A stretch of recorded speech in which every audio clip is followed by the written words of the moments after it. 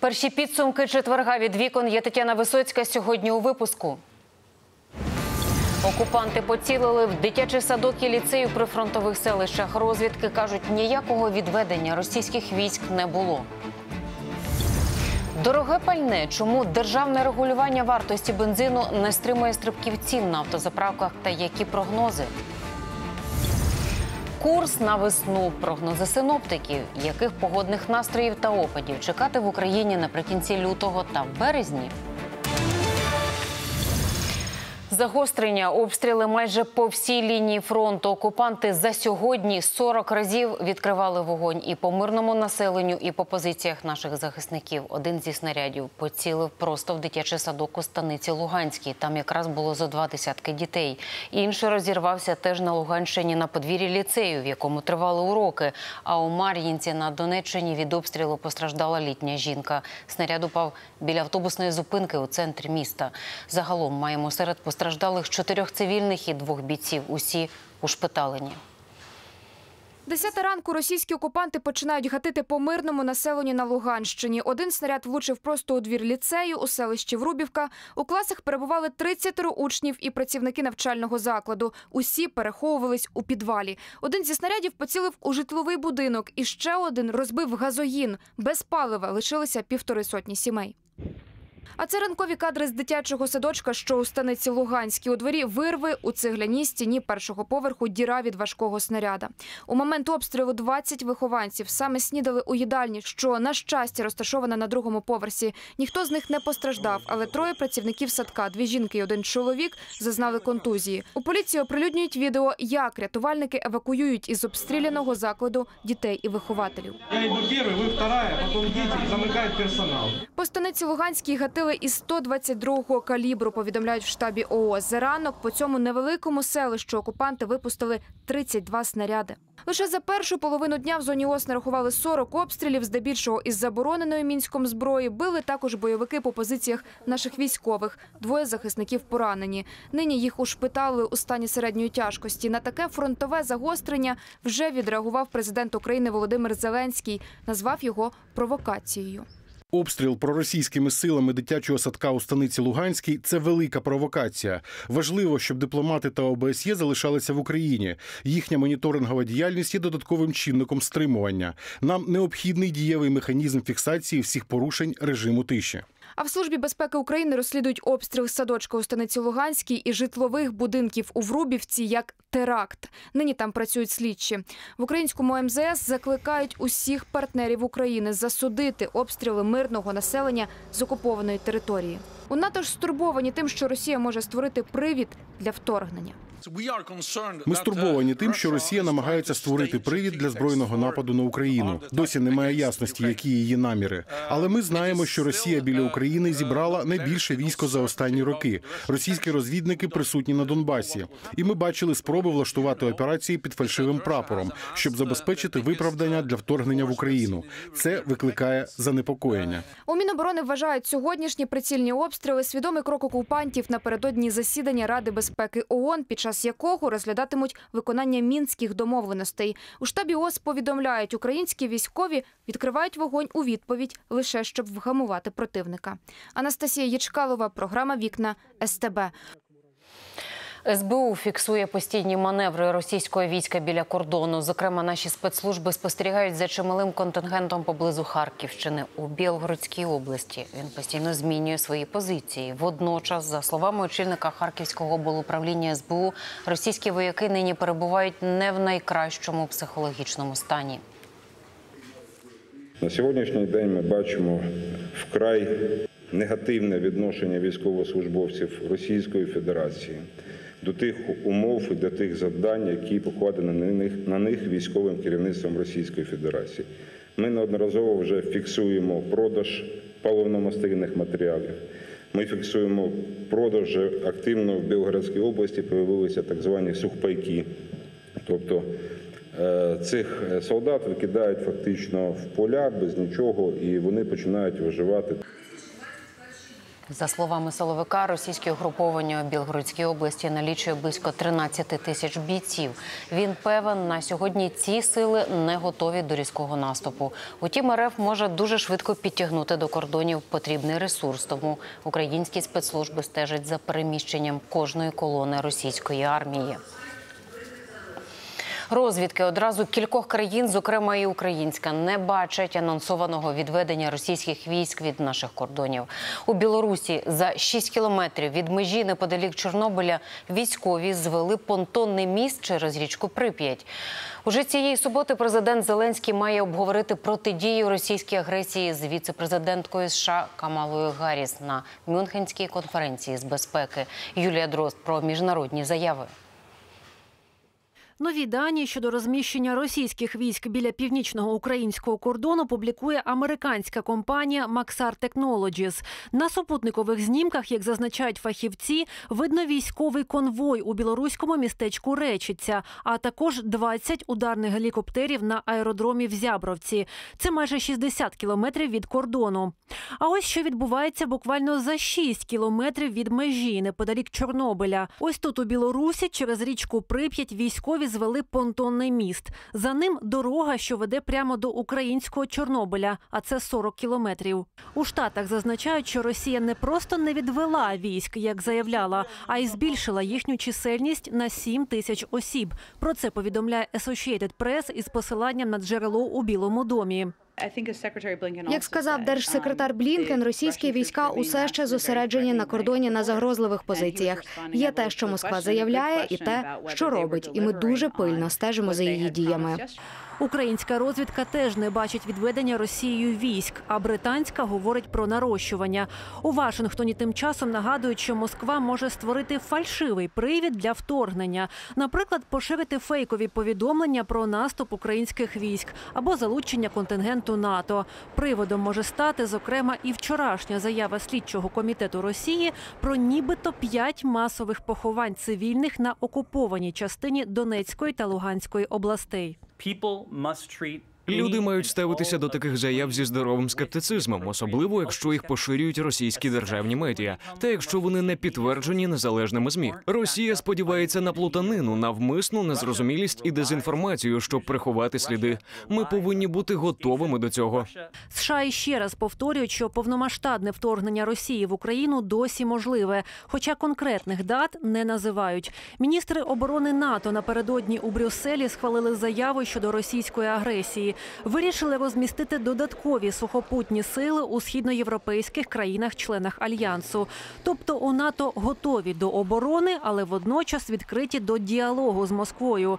У Нью-Йорку ж сьогодні збирається Рада безпеки ООН. Україна закликала дипломатів терміново обговорити звернення російської думи до президента Путіна про визнання незалежності ОРДЛО. Юлія Дрозд, програма Вікна СТБ. Скандал в Одесі. Заступник голови облради Вадим Шкарівський, член ОПЗЖ, назвав територіальну оборону бандформуванням. Сталося це на позачерговій сесії облради. Там ухвалювали рішення про виділення 11 19 мільйонів гривень на організацію та обладнання підрозділів територіальної оборони в регіоні. Саме тоді Вадим Шкарівський заявив, що Російська Федерація відвела свої війська від кордонів України і в формуванні тероборони немає сенсу. Послухайте, як це було. Міністерство оборони Російської Федерації заявило, що всі військові частини закінчили свої е, планові навчання і повертаються до своїх е, місць дислокації. А ми знову якесь створюємо якісь об'єднання. Ми вже ці об'єднання пройшли в 2014-2015 році, коли зробили такі об'єднання. Вони бігали по вулицях, віджимали в когось якийсь бізнес і самі вирішували, хто для них внутрішній ворог, а хто ні. Це такі банд-формірування. Більш по-другому їх ніяк не можу назвати. На такі заяви чиновника вже відреагувала громадськість. Активісти шоковані та вимагають, щоб СБУ відкрила проти посадовця кримінальне провадження. Юристи ж радять у таких випадках йти до суду. В сьогоднішніх реаліях, в реаліях загрози повномасштабного вторгнення Російської Федерації, подібні заяви можна розцінювати як державну зраду. І подібні депутати мають бути притягнуті до відповідальності негайно. Така людина має бути за ґратами однозначно. А е, чому він не за ґратами, це питання знову ж таки до органів публічної влади. Це е, законна формація, яка діє на згідно чинного законодавства на території України. Ніяким чином не є бандформуванням. А тому громадянин, е, наприклад, посадова особа місцевого самоврядування або посадова особа територіальної оборони може подати а, до вказаної особи претензію з вимогою спростувати цю недостовірну інформацію тим же самим шляхом, яким вона була опублічена, себто на засіданні ради. Російського підлітка посадили на 5 років за підрив ФСБ у комп'ютерній грі. Петербурзьку вчительку звільнили за вірші репресованого в СРСР поета Хармса. А в Новосибірську скасували вибори талісмана зоопарку, бо люди проголосували не так, як сказали чиновники. Новини з Росії все більше схожі на чорний гумор і гротеск. Ема Антонюк розбиралася, як поводитися, коли поруч неадекватний сусід, який дуже хоче, щоб його боявся світ, але вдома не може вибрати навіть символ звіринця. Це наймолодший терорист у світі. Йому лише 16. Микита Уваров із райцентру Канськ Красноярського краю отримав 5 років колонії за навчання з метою здійснення терористичної діяльності. Ні, підліток не був у таборах і ділу. Він грав у відеоігри. Віртуально Микита спочатку створив споруду ФСБ, а потім також віртуально підірвав її у грі Майнкрафт. П'ять років позбавлення волі хлопець отримав у цілком реальній російській колонії. Ровесники, з якими він спілкувався у гральному чаті, отримали по три та чотири роки умовно Дети, их можно ботаниками назвать по нынешним временам. Они мухи не обидели, и у них никогда не было никаких планов реальных. Э, Много читают, ну, я говорю, ботаники. Багато читати у сучасній Росії погана прикмета. Це Серафима Соприкіна. Ще місяць тому вона була вчителькою літератури у Петербурзькій гімназії, аж доки не почитала з учнями під час уроку репресованого в СРСР поета Хармса. Після камери тортур НКВС він симулював божевілля, щоб уникнути розстрілу, і згодом помер від голоду. Директорка гімназії сказала, що вірші ворогів народу можна читати лише на богемних кухнях, а не на шкільних уроках. Учительку звільнили. Про це вона розповіла у своєму Фейсбуці. Ребята, новый 37-й, вот он, на шаг ближе к нам и к нашим детям. У мене в руках книжка, яку видавці назвали однією із найпопулярніших серед росіян за останнє десятиліття. Це антиутопія 1984 Джорджа Орвела. Про світ, у якому правда це брехня, любов це тортури, а війна це мир. Російський опозиційний політик Дмитро Гудков каже, це для решти Європи Орвел історична фантастика. Росіяни ж читають його так охоче через реалізм. Это замечательная, интересная книга, которая, мне кажется, в условиях э, сегодняшней России очень актуальна, потому что вот вся эта оруэллская антиутопия, она просто вот, она у тебя за окном.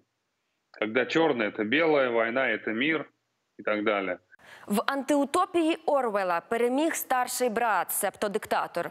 Але російські ліберали зберігають оптимізм, зокрема, завдяки йому. Есть мы не умерли, и вот проголосуем за орангутана. У Новосибірському зоопарку оголосили вибори талісмана. Серед кандидатів були біла ведмедиця Шилка, Манул Айша, тигр Макс, сніговий барс Саян і він орангутанг Бату. Місцеві чиновники закликали голосувати за Шилку, бо саме білий ведмідь символ путінської партії Єдина Росія. Містяни ж масово віддали голоси за орангутанга, якого підтримали російські опозиціонери. Ситуація загострилася після того, як жителі Новосибірська зафіксували протягом ночі на сайті мерії багатотисячні фальсифікації на користь шилки. Люди ще активніше долучилися до протестного голосування, і Бату переміг. Вся эта ситуация с этими новосибирскими выборами на самом деле это отражение того, про что я часто говорю украинским СМИ, что не надо недооценивать россиян. Их протестная энергия, она никуда не ушла. Она просто очень сильно зажата этой системой. Но как только ей найдется выход, никому мало не покажется. Мерія скасувала результати виборів, тож звіринець залишився без символу. Керівниця тамтешнього департаменту культури заявила про зовнішнє втручання. Очень много людей стало голосовать за- за Бату. Все СМИ, я думаю, что тоже увидели так же, как мы в этом политику. Мы понадеялись на то, что на голосование придут именно новосибирцы, а, и что не будут задействованы а, так скажем, заинтересанты извне нашего города. Чому російський народ дозволяє так себе принижувати? Відповідь на це запитання я знайшла у цій книжці. Її назва Компас цінностей. Її авторка, репортерка BBC на ім'я Мандіп Рай. Вона об'їздила 150 держав світу і визначила фундаментальну цінність кожної країни, у якій побувала. Серед них і Україна. Нашою головною цінністю письменниця вважає свободу. Це унікальна риса українського народу. Можливо, тому що їх стільки років переслідували й утискали, тому що вони не мали незалежності, яку багато хто з нас приймають як даність. Тому вони так прагнуть свободи і так її цінують. А ось її враження від Росії. Варто заговорити з росіянами про їхні негаразди, як вам одразу дадуть відсіч. Нам не конче їсти, сказав мені один. Нам досить знати, що нас бояться.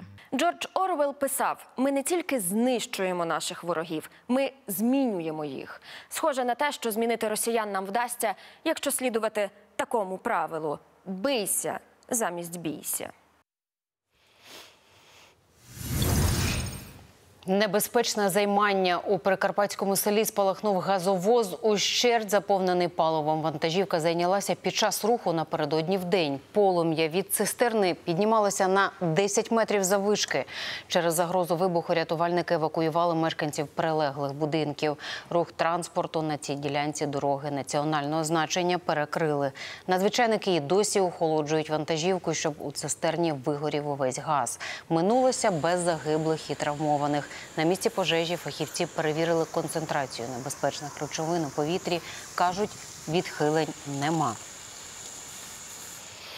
Золотий бензин на заправках дорожчає пальне. За літр 95-го бензину вже правлять 37 гривень. Як завжди, експерти кивають у бік світового ринку, де ціна нафти невпинно зростає. Але ж українська влада запровадила державне регулювання вартості пального. То чому ціни все одно ростуть і які прогнози дізнавалася Наталія Нечай? Ігор Володимирович за кермом уже більш як 40 років. Каже, колись ніхто й не думав слідкувати за цінами на бензин на заправках. Продавали з грузовиків. 3 гривни каністра була. Своєю автівкою чоловік щодень їздить на роботу і з роботи, а щовихідних родиною за місто. На 100 кілометрів можна було заправитися на 300 гривень. Зараз 350-360. Бензин і справді здорожчав. Якщо ще місяць тому купити літр можна було за 30 гривень з копійками, то нині за 95 правлять уже майже 37 гривень. Дизель теж виріс у ціні, в середньому на 6 гривень. І бензин, і дизель вони всі виробляються з нафти. І саме ціна на нафту і є ключовим фактором, який призвів до такого просто фантастичного здорожчання, яке ми не бачили вже 8 років. Та ціна нафти зросла у всьому світі, кажуть експерти. Ми новий рік зустрічали з котируванням 86 доларів за барель, то зараз майже 97. І нема впевненості, що ми не перетнемо межу в 100 доларів за барель. Такий різкий стрибок пов'язують перш за все із інфляцією у світі.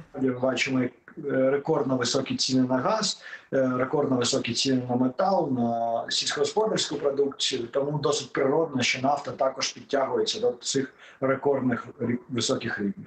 Друга причина, чому росте ціна пального здешевшення гривні через ймовірну загрозу з боку Росії. Наша національна валюта, хоч і не суттєво, втім, здає позиції. З нового року гривня щодо долара знецінилася на 5%, підрахували аналітики. 85% пального це імпорт. Для того, щоб купувати імпорт, нам потрібні долари. Якщо долар зростає, нам потрібно більше гривні зібрати з населення да, на колонках, щоб заплатити за цю нафту. Від торішнього травня в Україні діє державне регулювання цін на пальне. За спеціальними формулами вираховують максимальну вартість. Дані оприлюднюють що 10 днів. Утім, у ці формули закладена ціна нафти на світовому ринку, щоб АЗС не працювали собі у збиток. Тож, якщо її вартість у світі зростає, підвищується і ціна пального у нас. Ми не можемо прогнозувати, що буде відбуватися з світовими цінами на нафту. Це просто неможливо. Коли ми говоримо про гривню, тут все впирається насправді в те, що в голові у Путіна. Е, І це також ми не можемо прогнозувати. Дещо стримує здорожчання, хіба що обмеження на націнку. На літрі бензину заправки можуть заробити не більше 5 гривень, на літрі дизелю – 7. Та пан Ігор каже, якщо пальне дорожчатиме й далі, автівкою користуватиметься рідше. Стараться общественным транспортом пользоваться хотя бы на работу. Наталія Нечай, Віктор Зеленков, Роман Щербаков, Олександр Пономарьов. Програма «Вікна». СТБ. Наїзд збив 12-річну дівчинку на переході та потрощив ще кілька автівок в Одесі. 62-річний водій «Шевроле» не зупинився на червоне та наїхав на школярку. Потім легковик вискочив на узбіччя та вдарив припарковану автівку. Своєю чергою та протаранила ще два легковики попереду. Дівчинку із забоями ушпиталили до лікарні. Водія правоохоронці доправили до лабораторії, де виявили, він був п'яний. Завчора маємо понад 33 тисячі нових випадків ковіду. 259 людей померли. Третю бустерну дозу отримали вже понад 600 тисяч українців. Та все також чимало людей не отримали жодної дози. На Прикарпатті деякі педагоги навіть ідуть до суду, щоб їх поновили на роботі. Учителька із Тлумача, наприклад, нещодавно відсудила собі втрачені за три місяці вимушеної відпустки гроші, адже певна це незаконно. Питання вакцинації це і моє особисте питання. Пані Любов, вчителька молодших класів. Жінка лише нещодавно, після тримісячної перерви, повернулася на роботу до школи. У листопаді педагогиню відсторонили, бо вона, попри постанову уряду, на відріз відмовилася робити щеплення проти ковіду. Я маю повне право вибору. Поки сиділа вдома, зарплати педагогиня теж не отримувала. Три місяці ніхто не спитав, чи я маю засоби існування. Тож порадилась з адвокатами, склала позов та пішла до суду. Поки тривав розгляд справи, пані Любов вже вдруге перехворіла на ковід. Ковід я не важко перенесла. І я зрозуміла, що раз мене Бог зберіг, значить я маю ще жити на цьому світі. Слава Богу, здорові, живі. Через це мала можливість і повернутися на роботу. Будемо так казати, скористалася цією можливістю. Кілька тижнів тому судді урадили виплатити вчительці зарплатню, але до роботи у червоній карантинній зоні, де нині перебуває й Прикарпаття, без зеленого сертифіката її все ж не допустили. Про допущення до виконання трудових обов'язків Мелевич Любов Іванівну на посаду вчителя молодших класів в Нижнівському ліцеї Тлумацької міської ради Івано-Франківського району Івано-Франківської області відмовити. Та жінка пішла іншим шляхом. Просто узяла у сімейного лікаря довідку, що нещодавно перехворіла на ковід. За законом з цим вона, хоч лише і на три місяці, але має доступ до роботи. На даний час ми допустили їх, е, тому що ми маємо е, довідку відповідної форми 028.1, яка нам в якій зазначено, що ці е, особи, які перехворіли, вони мають від 28 до 90 днів протипоказання до вакцинації, і на цей час е, ми маємо право їх поновити на роботу. Серед 145 вчителів цього ліцею робити щеплення від ковід відмовилися лише двоє педагогів. Підписати наказ про відсторонення вони відмовилися. Вони сказали, що вони не згідні ні з попередженням, ні з, е, з наказом. Сказали, що це неправомірно. Але оскільки такий наказ є, вони на роботу не вийшли, і вони зразу нас попередили, що вони будуть оскаржувати це рішення в суді. Нині у суд подалася і друга педагогиня ліцею, яка не хотіла вакцинуватися. А от на рішення суду щодо пані Любові адміністрація Нижнінського ліцею подаватиме апеляцію, бо не згодна з тим, що має виплачувати зарплатню працівниці, яка три місяці не була на роботі. Ірина Тимчишин, Олександр Макушак, програма Вікна СТБ. Європа тим часом поступово відмовляється від карантинних обмежень. Так у Швейцарії більше не вимагають ковід-сертифікати під час відвідин публічних закладів. У гості вже можна кликати скільки заманеться людей. Маски ж зобов'язують носити лише в транспорті та в лікарнях. В Австрії вже в суботу дозволять відвідувати громадські місця не лише вакцинованим і тим, хто перехворів чи має негативний тест. Та це правило поки не стосується відня. А ще більше обмежень скасують на початку березня. Тоді наповно запрацюють ресторани, а респіратори залишать обов'язковими у місцях скупчення людей. Навесні хочуть поетапно скасувати майже усі обмеження і в Німеччині. Спершу ми пом'якшимо правила для приватних зібрань і дозволимо відвідувати магазини не лише вакцинованим, а й за наявності свіжого ПЛР-тесту. Потім відкриємо доступ до ресторанів, дискотек і клубів. Головна умова не бути хворим. А вже із 20 березня почнемо скасовувати й інші обмеження.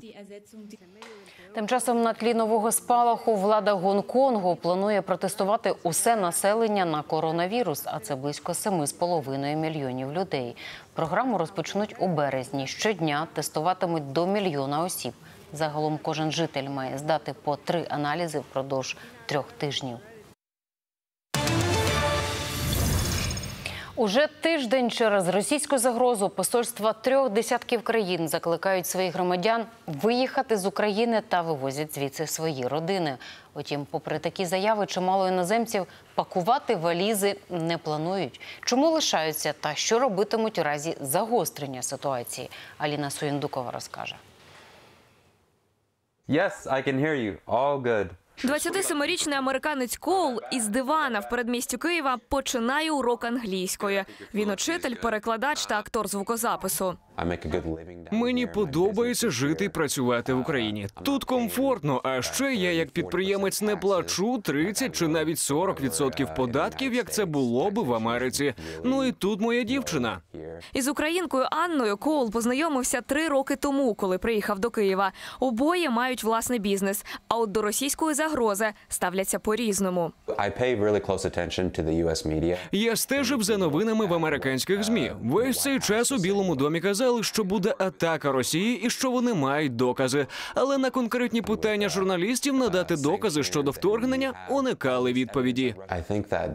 Я знаю, що біля кордону стоїть російське військо. Я думаю, що все це лише політична гра, аби відвернути увагу від реальних проблем. Він дуже дуже зі мною сварився, щоб я не дивилася ці новини. Я дуже боюся. В нас тут є підвал. З картоплею, тобто ми розуміли, що в нас є персональне бомбосховище. Поїхати з України Коула закликало й американське посольство і родичі зі США. Мій прадідусь майже цілодобово телефонує з питаннями, коли я поїду. Він просто вважає, що всюди, крім Америки, небезпечно. То чому люди, які мають можливість утекти від загрози війни на свою батьківщину, і досі залишаються в Україні? Звільнення, звісно, є. Боїмося – ні. Аріель рабин молодіжної єврейської громади Києва. Зранку відправив двох своїх дітей у садочок. Тепер разом із дружиною Чері доглядає наймолодшу Лею. У Києві вони живуть уже п'ять років. Тут багато аріелєвих родичів, а ще їхні близькі в Америці, Ізраїлі та Франції. Із нарощуванням російського війська усі вони благають подружжя поїхати з України. Моя сестра із Майами телефонує та каже: Я куплю вам квитки. Навіщо ви лишаєтесь в небезпеці? Мої батьки живуть у Франції. і Коли вони нещодавно були у нас в гостях, дуже просили поїхати з ними. Але вони лишаються. Поки тут є єврейський народ, ми теж будемо. Я навіть не знаю, що має статися, щоб ми поїхали. До того ж, тут багато родини з дітьми та людей похилого віку, яким складно чи неможливо залишити Україну. І, хоча у широкомасштабну війну вони не дуже вірять, до можливих наслідків усе ж підготувалися. Тисячі людей к нам вже обращались, і да, попросили помощи, сказали, если что-то будет, что сможем делать, как мы сможем помочь. И мы уже подготовили э, очень много и еды, и все остальное, просто чтобы действительно помочь людям. Есть у нас э, такая фраза в Торе написана, не мудрецы нам говорят, Лубавический Ребе нам говорит, думай хорошо, будет хорошо. Украина для нас это, это наш дом. Так само про Україну каже й американець Коул. Тепер його батьківщина тут. Зараз вони з Анною працюють над мультиплікаційною англомовною версією гоголівського вія. Хочуть поширювати українську культуру на захід, але точно нікуди тікати не збираються.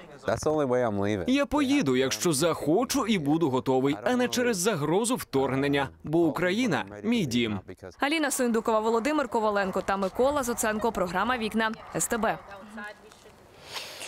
Скандальний син королівської британської родини принц Ендрю через закиди у зґвалтуванні неповнолітньої потрапив чи не на всі шпальти британської преси. Таблоїди писали навіть про поганий норов середнього сина Єлізавети. Мовляв, зухвалий з персоналом. Нині секс-скандал вдалося врегулювати, але змі кажуть, сума там чимала. Тож довелося долучитися до виплат і королеві. А принц за це більше не королівська високість. Суду присяжних не буде. Середній син британської королеви принц Ендрю врегулював справу з американкою Вірджинією Джуфре, яка звинуватила його в сексуальному насильстві. Скільки коштувала така мирова угода, не розголошують. У листі до суду написано, що принц планує зробити суттєву пожертву для пані Джуфре і на підтримку прав інших постраждалих. А от британські газети твердять, мова йде про понад 10 мільйонів фунтів. Частину грошей Ендрю виручив від продажу маєтку у Швейцарії, а ще частину може надати королева. Гадаю, принц Ендрю не було іншої альтернативи, окрім залагодити справу таким чином. Але його репутація зазнала такого краху, що тепер її буде складно відновити.